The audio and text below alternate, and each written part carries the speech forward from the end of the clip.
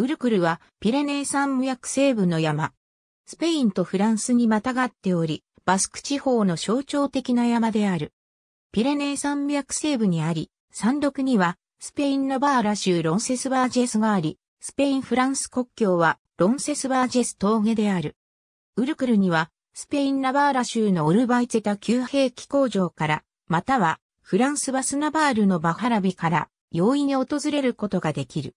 ピレネー山脈の南斜面に沿って東西にグレーン長距離遊歩道11番が伸びている。ウルクルの山頂からは北斜面も南斜面も広く見渡すことができ、山頂にはローマ時代に遡る塔の遺構が残っている。この塔はローマ人によるアキテーヌ地方の征服を記念して建立されたものであり、中近世には物見櫓として使用された。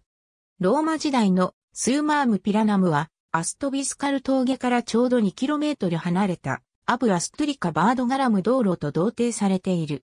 このため、JM 姫のフリオや P ナルバイツなどの研究者は、778年のロンセスバージェスの戦いが、ウルクルから近い場所で行われたと主張している。